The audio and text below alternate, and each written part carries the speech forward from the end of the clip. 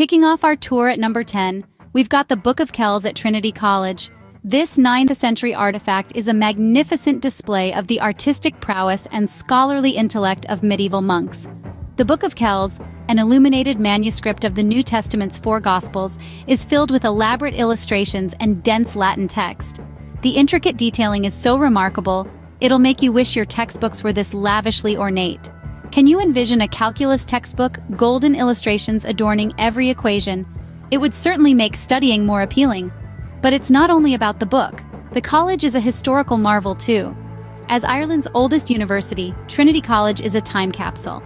Its cobblestone courtyards, ancient buildings, and the famous campanile transport you back into the past. It's a must-visit for anyone captivated by books or history. So, if you're a bookworm or history buff, this one's for you. At number 9, we're taking a stroll down Grafton Street. This bustling artery of the city is not just a shopper's haven, it's an open-air theater, Pulsing with animation, Grafton Street hosts a variety of mesmerizing street performers, each adding their unique flavor to the city's dynamic canvas. From the deftness of jugglers to the daring fire eaters, from melodic musicians to spellbinding living statues, the street is a roulette of experiences. The unpredictable charm lies in not knowing who you might stumble upon next. The buskers particularly deserve a mention. These gifted street musicians effortlessly command attention, with their guitar strumming or soul-stirring vocals, they have the power to transform an ordinary stroll into an unforgettable journey. As you casually window shop or quickly grab your coffee, spare a moment to absorb the artistry around you. Show them some appreciation, a nod, a smile, or even better, let a coin clink in their hat. Who knows, your favorite performer might just be the next big sensation.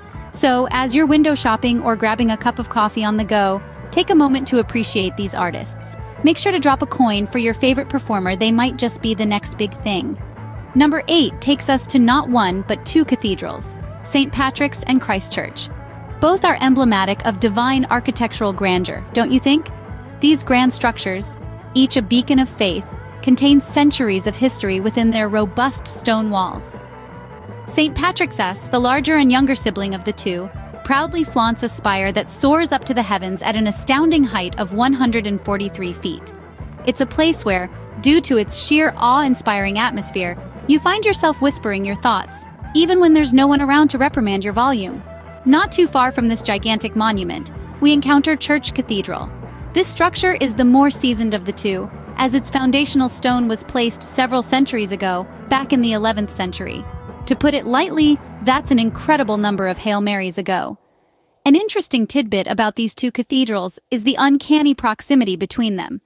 They are situated so close to each other, it feels intentionally competitive, almost as if engaged in a holy rivalry.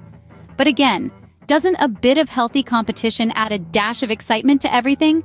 Just one thing you need to keep in mind, no cathedral hopping without a confession first. Landing at number 7, we're off to Merrion Square, this is no ordinary public space, but rather a grand monument to the rich Georgian period. Imagine row after row of beautifully designed houses, each emanating a unique charm and narrating its own history, all grouped around an enchanting central park. And do you see that statue perched on rock? That's Dublin's beloved literary figure, Oscar Wilde. His effigy, eternally relaxed and eternally clever, keeps watch over the park. You can almost sense his vibrant laughter carried on the breeze, and his sharp wit echoed in the hushed rustling of the leaves. Take a leisurely stroll around the park and immerse yourself in the ambiance. It feels like you've stepped into a time machine, with the contemporary world kept at a distance by the imposing Georgian architecture. So, prepare a delicious picnic and pack a captivating book. You never know, you may just find your humor honed by being in such illustrious company. After all, as Wilde himself eloquently put it, I can resist everything except temptation. Don't forget to pack a picnic. Oscar loves company. We're halfway there. Before we move on, don't forget to subscribe and comment with your favorite Dublin site. Join the fun, be part of our travel community, and let's explore the world together. Your engagement truly helps us to create more content that you love. And hey, we're curious to know your top Dublin pick, so go ahead, hit that subscribe button and drop us a comment. All right, back to the countdown. Number 6 brings us to the epic The Irish Emigration Museum. A museum experience that wanders away from the ordinary, Epic is a true celebration of the dynamic history and impact of Irish emigration. By presenting it through a vibrant, captivating lens with an immersive approach, it has a certain allure that's as enticing a freshly poured pint of Guinness. Epic offers a kaleidoscope of interactive exhibits, each one carefully curated to take the visitors on a thrilling journey through the Irish diaspora. It's a journey that unveils the global influence of the Irish, the indelible imprints they've made on various facets of global society.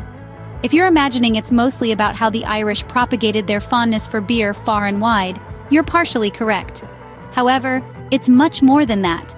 It's an exploration of the richness of Irish culture, the rhythm of their music, the creativity in their arts, the fervor for sports, the brilliance of Irish inventions, and the resilient spirit that has left an indelible mark far and wide. The highlight? All this exploration can achieved in the comfort of your own space, devoid of any physical exhaustion or jet lag. So, fasten your virtual shoelaces and immerse yourself in the stories of renowned Irish emigrants from leaders to luminaries. Get ready to trace the steps of the Irish, minus the actual walking. Pouring in at number 5, we've got the Guinness Storehouse, a site where the magical fusion of barley, hops, and water creates the beloved dark brew so many cherish. In this seven-story architectural marvel, fashioned in the likeness of a colossal pint glass, you get to journey through the intriguing brewing process. Each step, from selecting the finest ingredients to the crucial final pour, is an episode of a captivating story. Journey's End is the gravity bar, perched atop the structure. The reward for your ascent is a complimentary pint of the iconic black brew.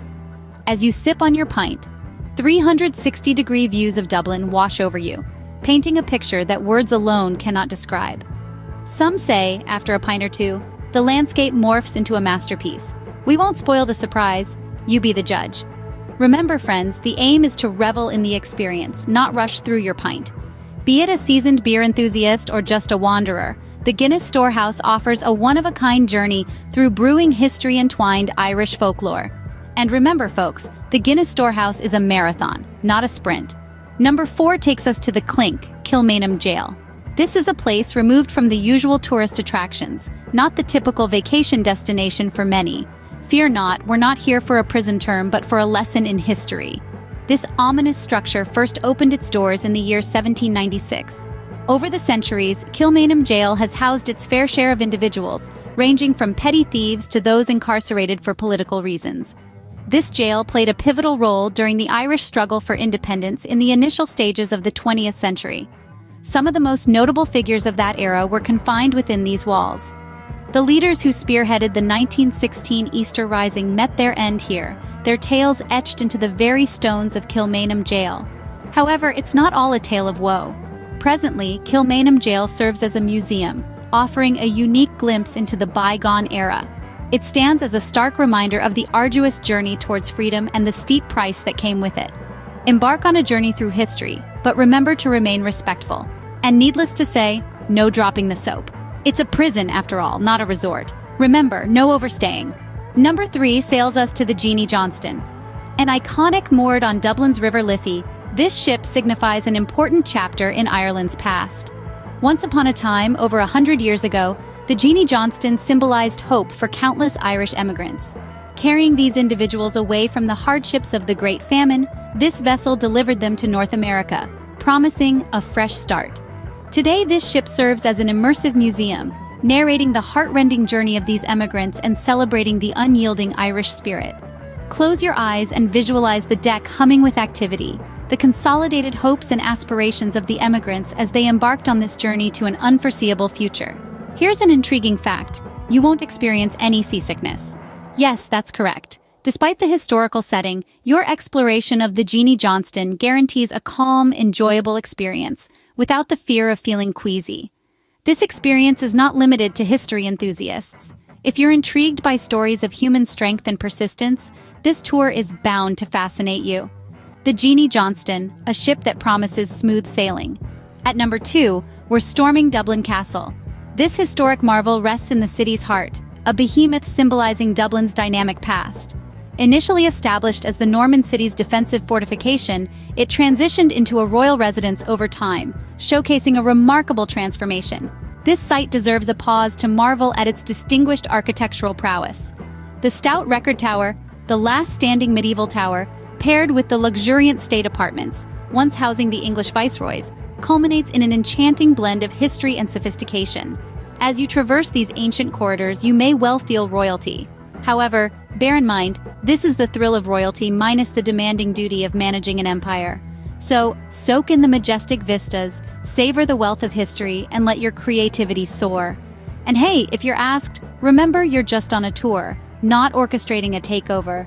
Remember, if anyone asks, you're just visiting, not planning a coup. And finally, at number one, we're off to Áras an Uachtaráin. Nestled in the heart of Dublin, this grand residence, brimming with historic allure, establishes itself as the home to the President of Ireland, serving as Ireland's parallel to the symbolic White House. Unlike the imposing aura of the White House, you won't find black-suited Secret Service agents lurking ominously around this Irish gem. Instead, you'll find yourself greeted by welcoming, warm-hearted locals who are the personification of Irish hospitality, always ready to share a tale or two, their anecdotes drawing you into the rich tapestry of Ireland's history. These individuals, with their radiant smiles and vibrant stories, are the lifeblood of this residence, embodying the charm and open-hearted spirit of Ireland in their every action. This grand estate, much like Ireland itself, is characterized by its warmth and openness, inviting you in with open arms. It's a testament to the beauty and unyielding spirit of Ireland and its people. And there you it, the top 10 sites in Dublin. Now go forth and conquer.